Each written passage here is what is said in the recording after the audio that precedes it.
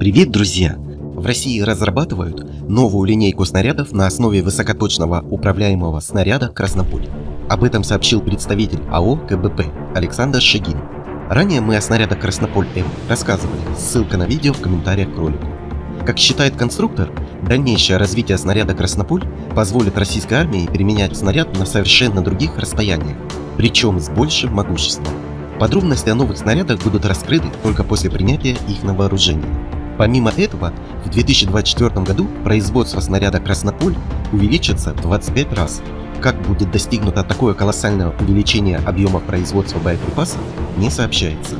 Сейчас российские войска получают снаряды «Краснополь-М» и новый снаряд «Краснополь-М2».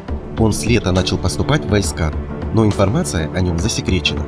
Известно, что в снарядах «Краснополь-М2» стоит обновленная система наведения и целеуказания – она может использоваться с разными средствами подсветки целей. Возможно, теперь два снаряда Краснополь М2 могут атаковать две разные цели, находящиеся на минимальном расстоянии.